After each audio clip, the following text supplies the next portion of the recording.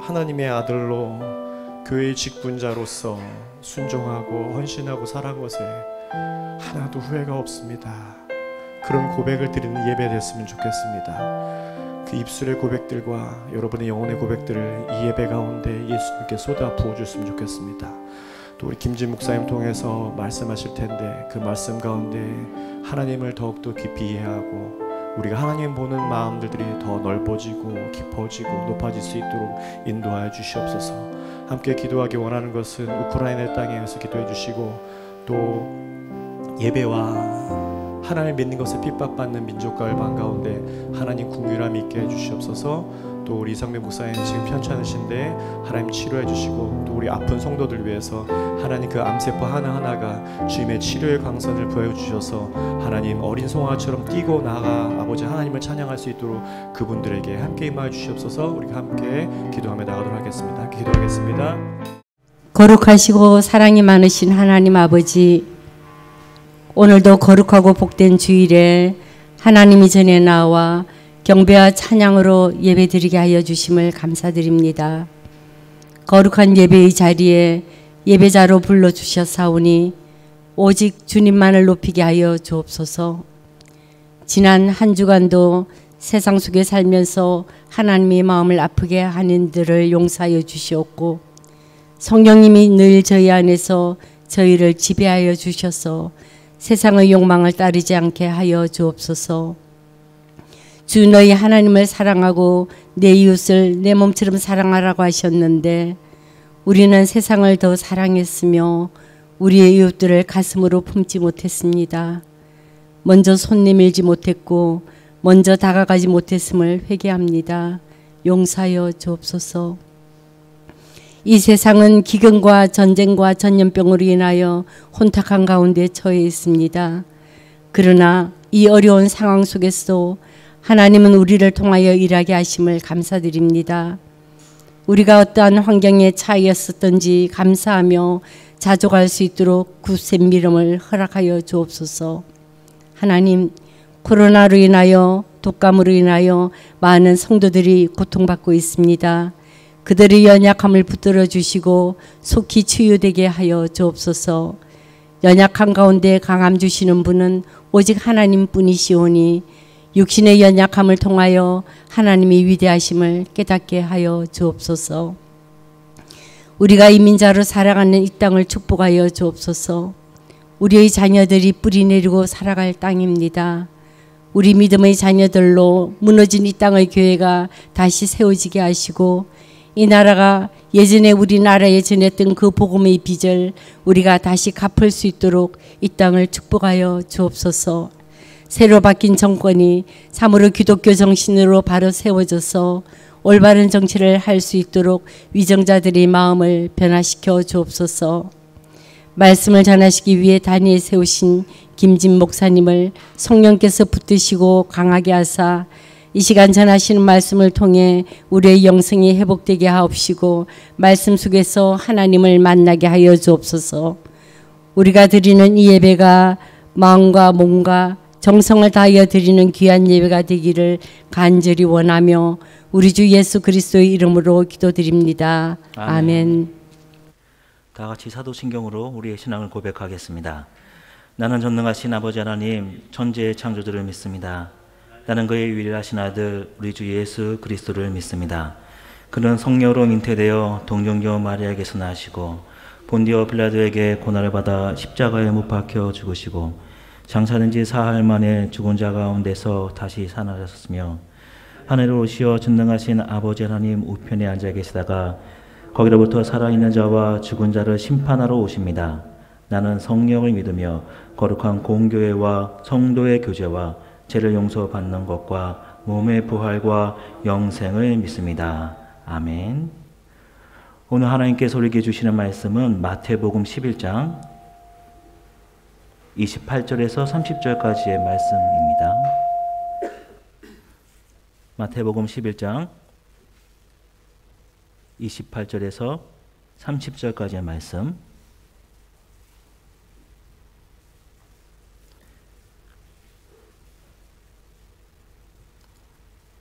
다 찾으셨으면 한 목소리로 봉독하겠습니다. 수고하고 무거운 진진자들아 다 내게로 오라 내가 너희를 쉬게 하리라 나는 마음이 온유하고 겸손하니 나의 멍에를 메고 내게 배우라 그리하면 너희 마음이 쉼을 얻으리니 이는 내 멍에는 쉽고 내 짐은 가벼움이니라 하시니라. 아멘. 아멘. 오늘 말씀 전해 주실 목사님은 김진 목사님이십니다. 독일 프랑크푸르트 대학 신학부 박사학위 받으시고 성공회대 또 위하여대 견인 교수로 아, 계십니다. 더 자세한 소개는 주보를 어, 참고해 주시고요. 오늘 나오셔서 심의 영성이라는 제목으로 말씀 증거해 주실 때 하나님의 큰 은혜가 있기를 바랍니다.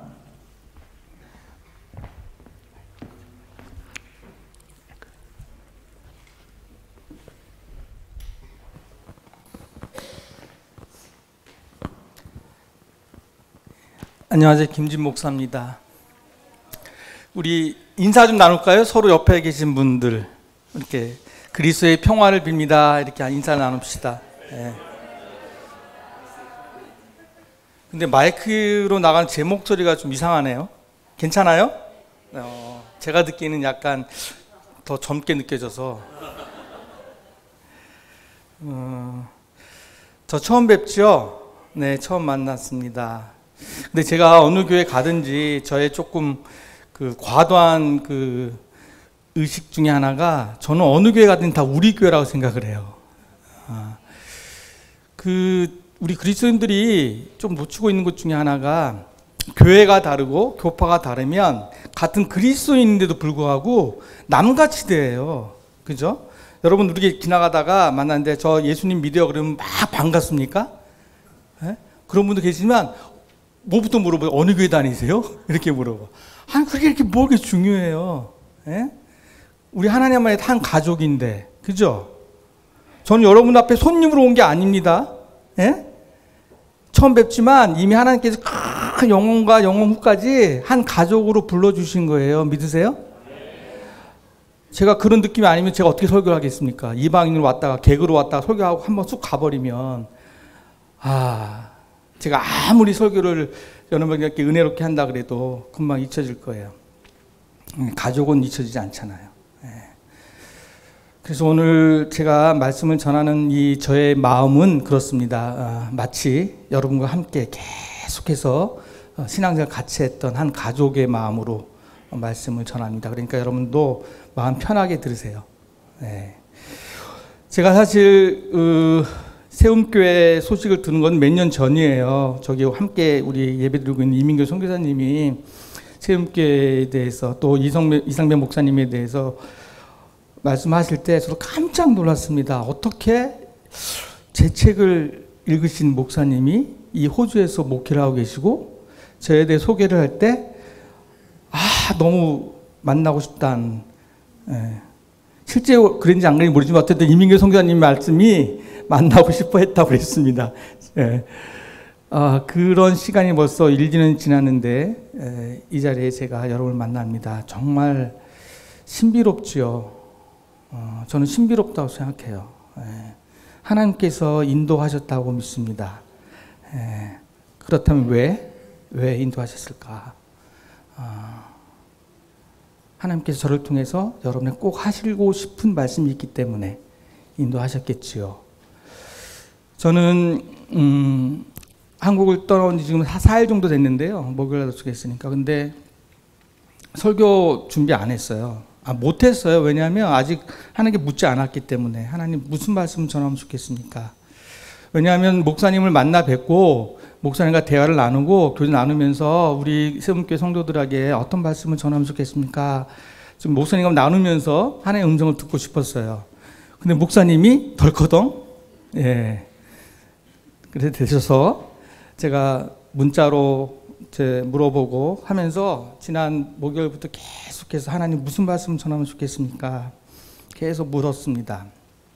아, 사실 제, 제 나이 정도 목사 되면 제 컴퓨터 안에 수백 편의 설교가 있어요. 그죠? 예. 그 중에서 정말 내가 야 이 말씀 전할 때 은혜로운 말씀이었어. 딱 은혜로웠어. 내가 전해야지.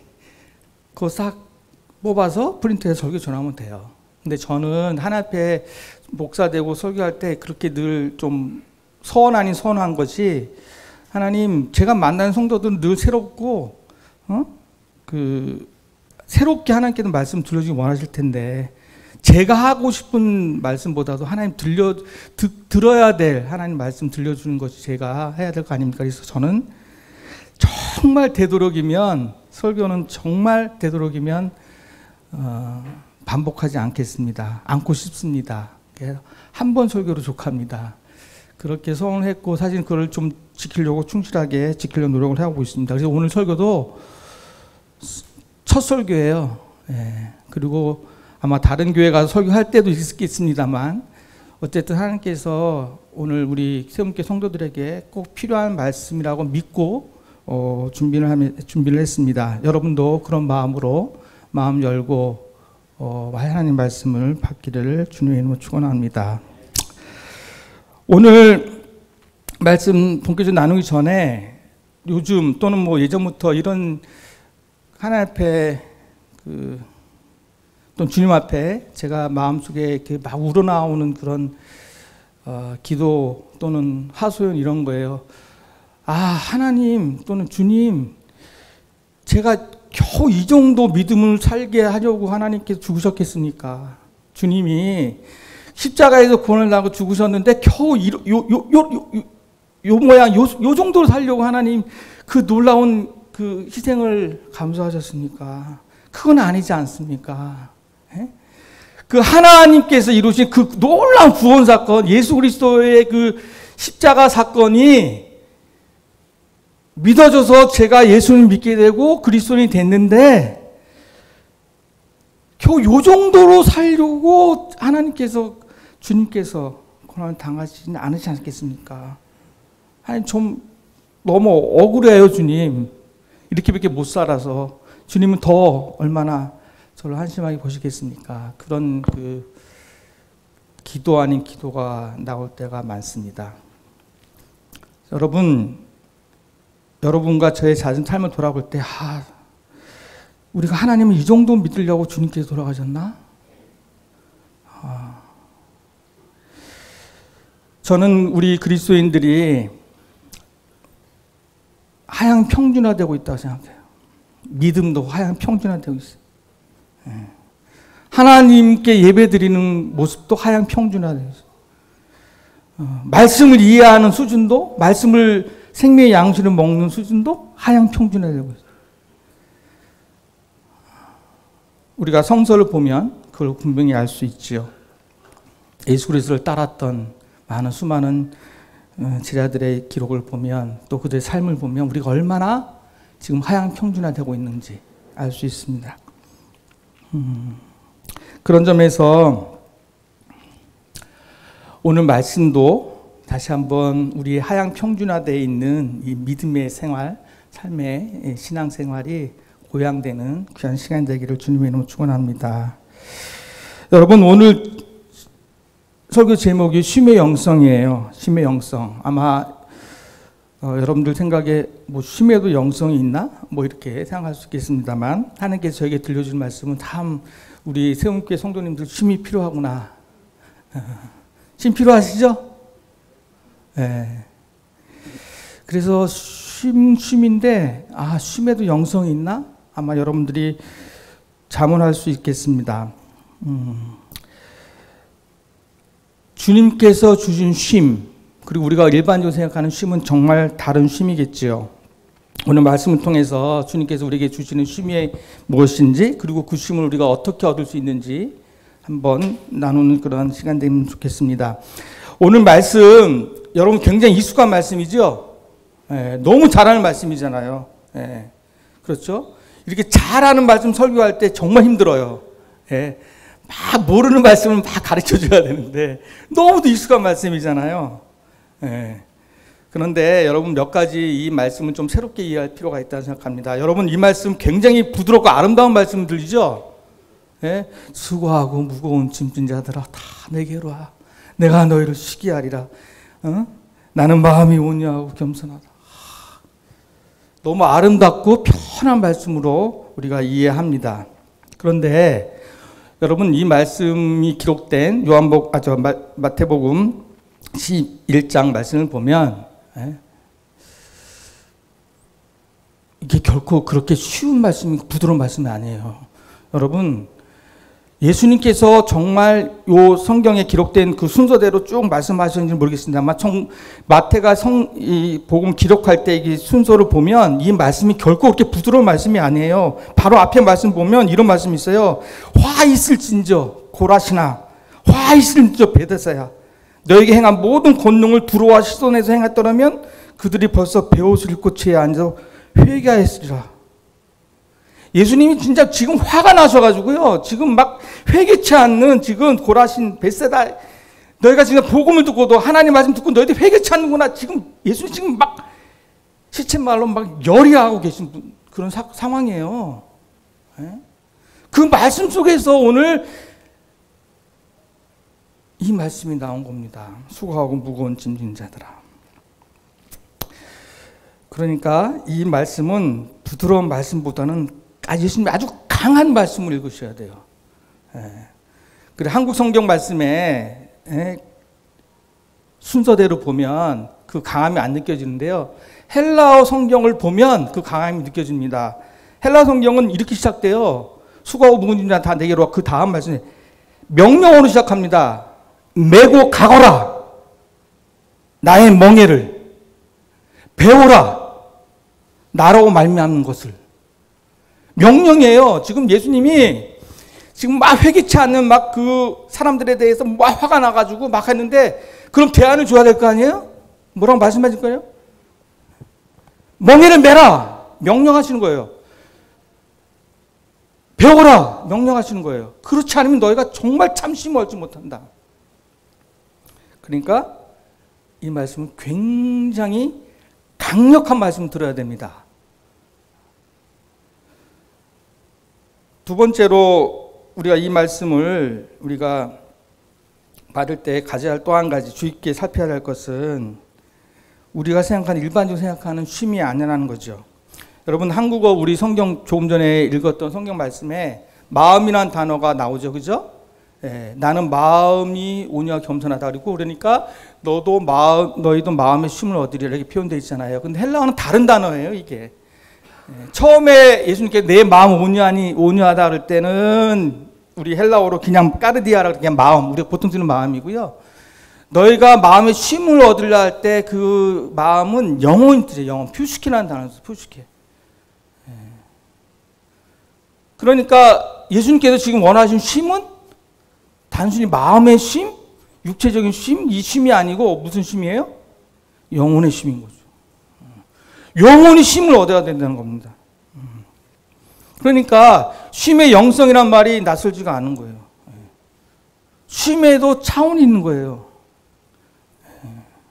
여러분 쉬고 싶다 그럴 때 여러분 가장 먼저 드는 부, 부분이 어떤 부분이야? 아, 나 쉬고 싶어. 그러면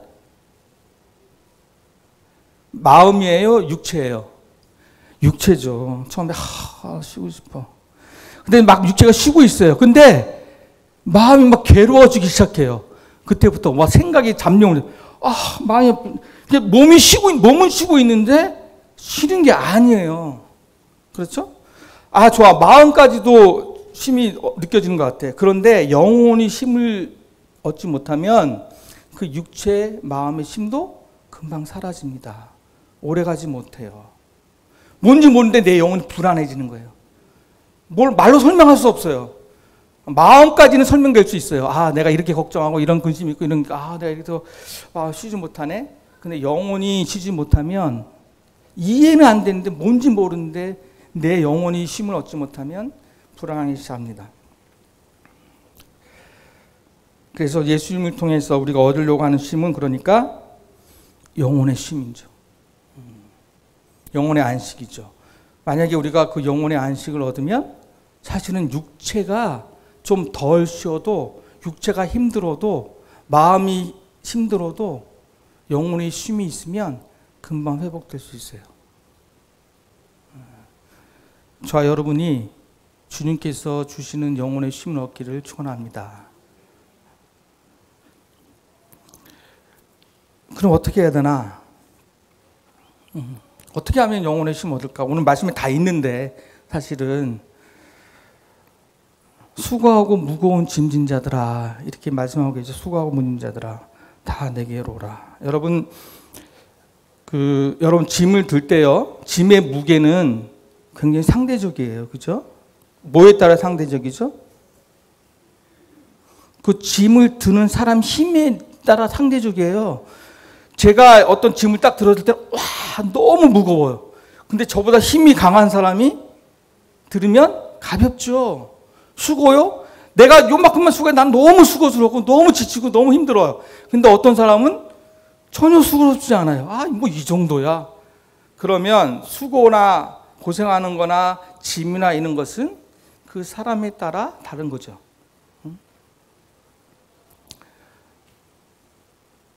수고하고 무거운 짐진 자들아 다 내게로 오라. 여러분 지금 무거워요? 삶의 삶의 무게가 무겁습니까? 예? 우리 정직하게 고백하시는 우리 이민길 선생님 무겁죠. 무겁게 느낄 수도 있죠. 근데 상황은 전혀 안 바뀌는데 어떨 때는 똑같은 상황인데 그 상황이 전혀 무겁지 않게 느껴져요. 전혀 힘들지 않게 느낄 때가 있어요. 어느 때? 내 영혼에 힘이 있을 때. 내 영혼이 영성에 힘이 있을 때 그렇습니다. 그러니까 수고하고 무거운 짐진 자들아 다 내게로 와라고 말씀하실 때 주님께서는 너희들이 지금 영혼에 힘이 없어서 영혼에 힘이 없어서 지금 허덕이고 지금 힘들어하고 지금 무겁게 짐을 지고 있는데 당연 내게 나오면 그것이 가벼워진다. 예. 영혼의 쉼을 얻게 된다. 그러면 힘이 생기고 힘이 생기면 그 수고하고 무거운 짐들이 다 벗겨진다. 여러분들 육체가 쉼, 쉬어야 힘을 얻잖아요. 그죠? 예, 영혼도 마찬가지. 영혼의 쉼이 있어야 영혼의 힘을 얻게 되는 것입니다. 그래서 영혼의 힘이 생기기 위해서는 영혼의 힘을 얻어야 되겠지요. 어, 육, 만약에 육체를 육체도 쉬지 않고 계속 힘만 쓰면 힘이 소진되면 정말 그 아무것도 못하는 그런 상황에 처하는 것처럼 우리 영혼의 쉼이 없으면 바로 우리 영혼의 힘도 사라지고 또 영혼의 힘이 사라지면 그만큼 삶에 자기가 지는 무게, 삶의 삶이 그렇게 고통스럽게 느껴지는 것입니다. 우리가 음, 주님께서 오늘 그 쉼을 얻는 방법을 두 가지를 말씀하기 위해서 멍해를 메어라 그랬습니다. 멍해를 메어라. 여러분 멍해가 뭔지 아시죠? 예, 멍해 그 소가 밥 깔기 위해서 이렇게 끌고 가는 그 뭐, 등에 짓는 게 멍해잖아요. 그러니까 예수님께서 나의 멍해를 메워라 그러니까 예수님께서 짊어지고 하고 있는 그 멍해를 함께 매자는 거예요. 그러니까 그 당시의 삶으로 해석하면 이 멍해라는 것을 저는 이렇게 해석해요. 지금 내가 하나님 나라를 선포하고 있지 않냐. 지금 내가 하나님께서 너희들에게 구원의 사건을, 구원의, 구원의 복음을, 기쁜 소식을 너희 전하고 있는데, 내 멍에를 매라. 그 사건에, 그, 그 삶에 동참하라는 거예요. 예. 나와 함께 하자는 겁니다. 예? 지금 주님께서 지금 부르시는 거예요. 어? 하나님 나라의 운동에 함께 하자. 예?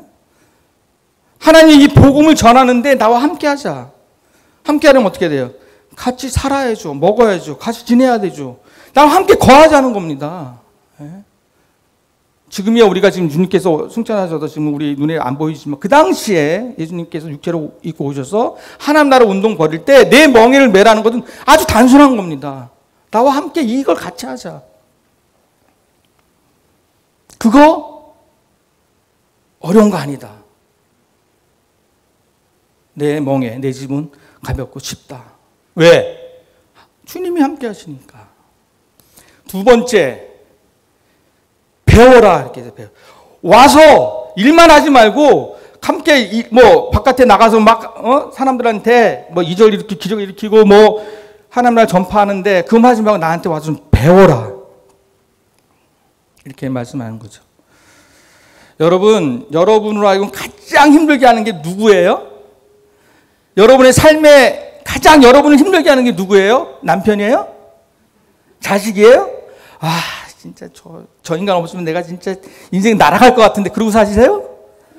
네? 어, 웃으시는 분들은 가슴이 얹고 조금 생각해 보셔야겠다. 동감하시는 것 같아. 평소에 그렇게 하시는 것 같아. 와, 내 삶의 무게. 아, 저 제만 없으면 진짜 그렇게 생각하세요?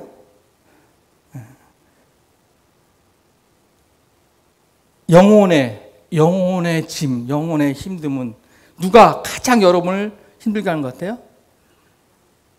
아, 여기는 자기 자신이에요. 자기가 자기를 못 살게 굴어요. 예. 자기가 자신에 대해서 막 옛날에 과거 뭐 했던 자책하기도 하고요. 와, 후회하기도 하고요. 예? 자기가 자기를 쉬지 못하게 합니다. 자기가 자기 영혼을 어떤 형식으로든지 괴롭혀요. 그래서 예수님께서 배우라고 하셨을 때 정말 수많은 게 있겠죠. 예수님께 배울 게 뭐 한두 가지겠습니까? 뭐 진짜 뭐 실수 없고 정말 한도 끝도 없죠. 우리가 예수님한테 배워야 될 거. 근데 영혼의 심과 관련해서 예수님께서 가르쳐 주신 것. 그러니까 자기가 자기를 가장 괴롭히는데 그럼 자기가 해결되면 예? 자기 모습에 대해서 자기 생각이 달라지면 자기를 괴롭히지 않겠죠. 그래서 예수님께서 예수님께 배워야 될 것 정리해서 다섯 가지만 말씀드릴게요. 예수님께서 오셔서 정말 사람들에게 너희들에게 정말 너희들은 이걸 다시 생각해야 된다.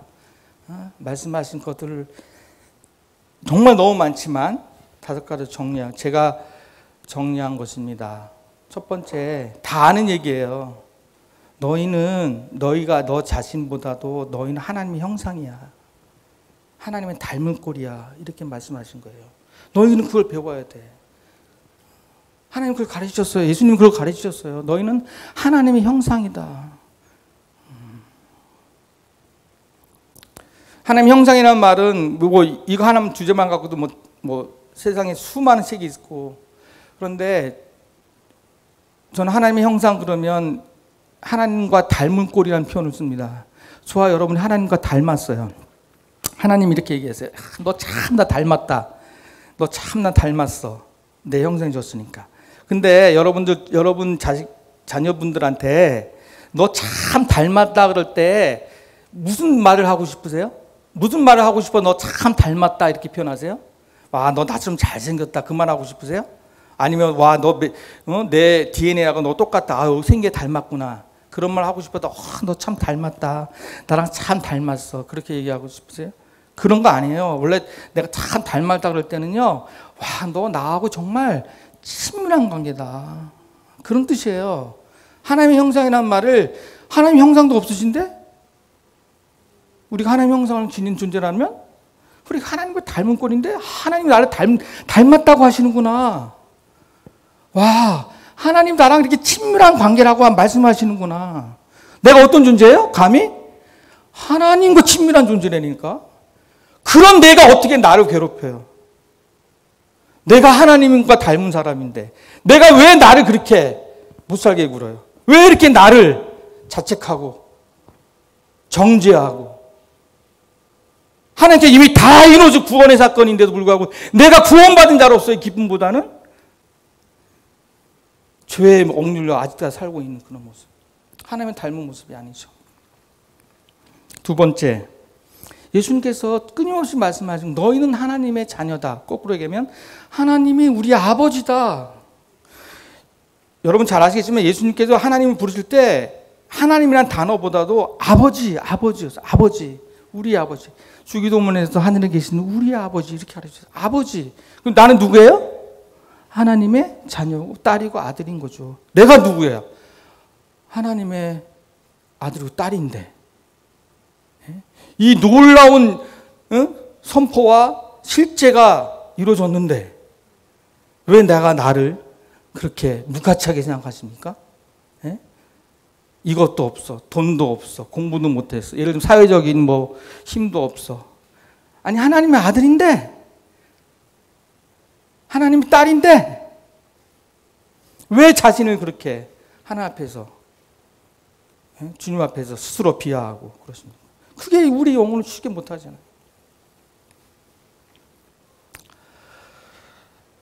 세 번째로 주님께서 우리에게 말씀하신 것 중에 아주 중요한 건데요.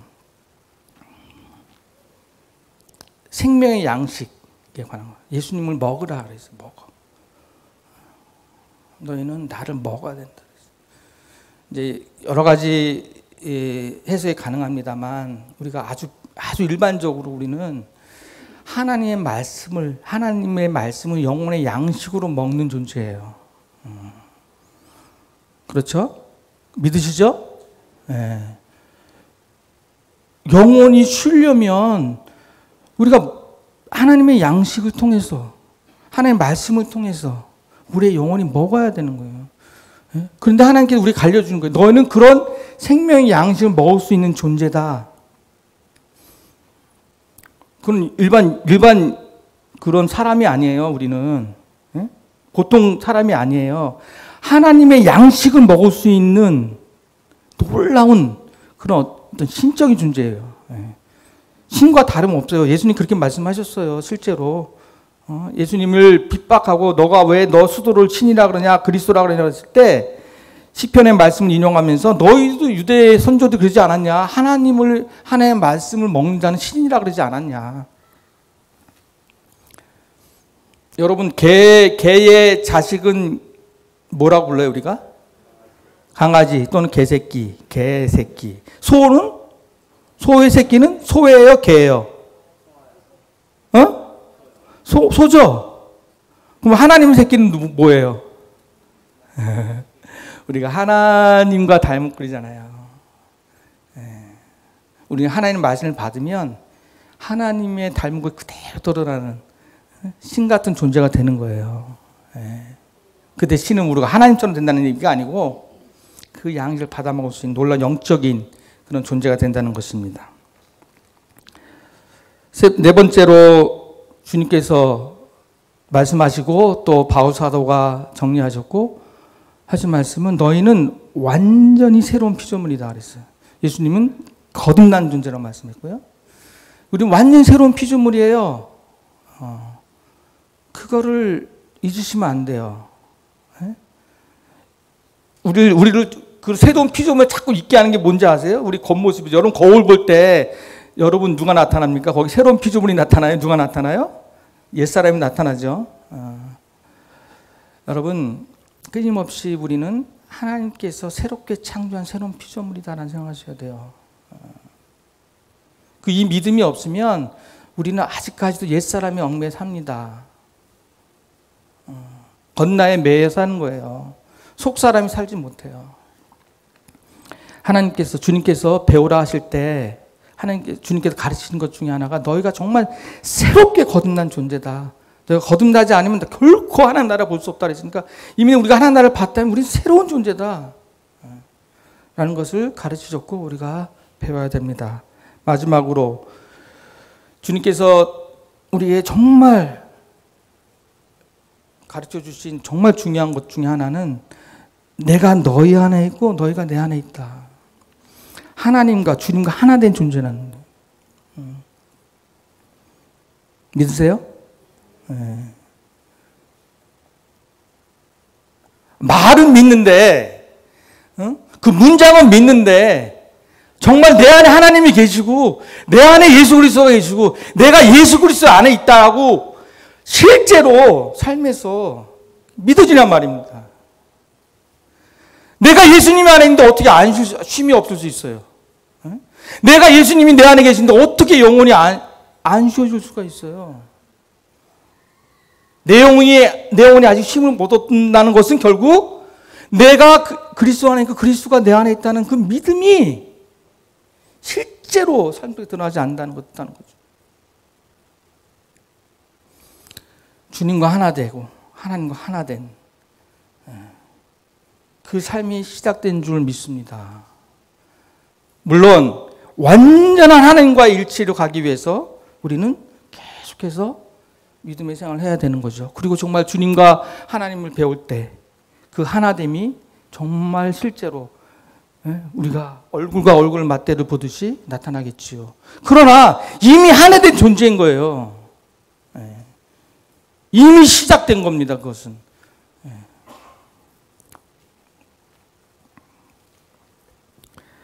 결국 나를 가장 내 나를 힘들게 하는 것은 내가 하나님의 형상임에도 불구하고 하나님과 친밀한 관계를 맺지 못하게 돼서 하나님의 아들과 딸임에도 불구하고 그 아버지의 그 사랑과 아버지의 그 권위와 아버지의 절대적인 그 인도하심을 따라가지 못하고 믿지 못해서 내가 내 자신을 늘 걱정과 근심 속에 쌓이게 하고 그것이 바로 우리의 쉼을 찾지 못하게 하는 원인이 되는 거죠.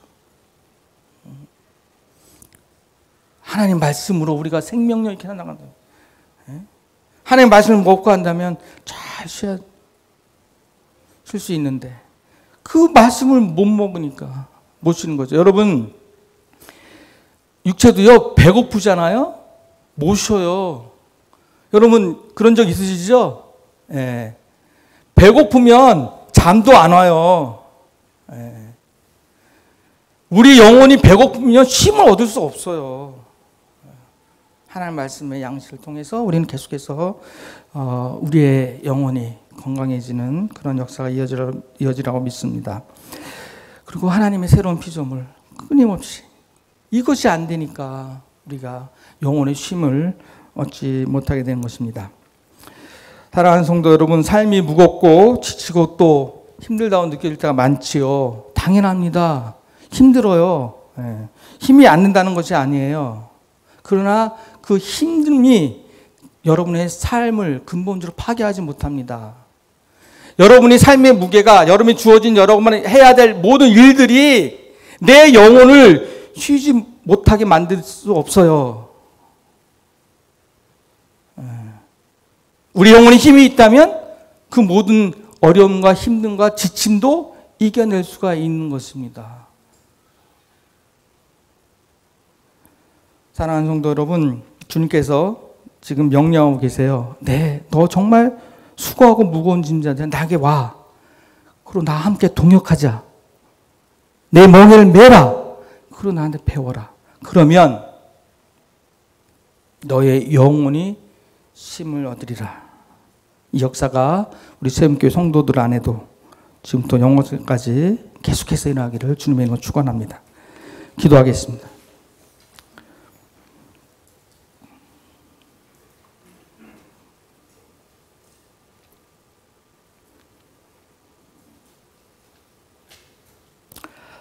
하나님, 우리를 새로운 존재로 변화시켜줘서 감사합니다. 하나님을 아버지로 부를 수 있는 놀라운 특권과 놀라운 은혜를 주셔서 감사합니다. 예수님 통해서 가르쳐 주신 그 모든 것들을 우리가 잘 배워서 잘 깨달아서 영혼의 신비에 새겨서 우리의 영혼이 힘을 얻는 놀라운 은혜를 다시 한번 베풀어 주시옵소서. 우리의 영혼이 힘을 얻고 힘을 통해서 힘을 얻고 그 힘을 통해서 우리에게 맡겨진 주와 동역하는 이 삶을 온전하게 감당할 수 있는 당신의 자녀되도록 인도해 주시옵소서. 예수 그리스도의 이름으로 기도합니다. 아멘.